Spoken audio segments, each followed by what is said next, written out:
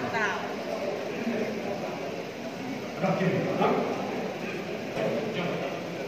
Semoga apa yang kami berikan dapat bermanfaat. Mantap. Dapat bermanfaat.